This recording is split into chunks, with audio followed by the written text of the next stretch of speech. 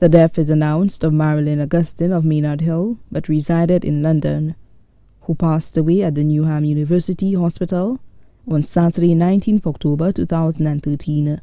She was 54 years old. The funeral arrangements for the late Marilyn Augustin will be announced in a subsequent broadcast.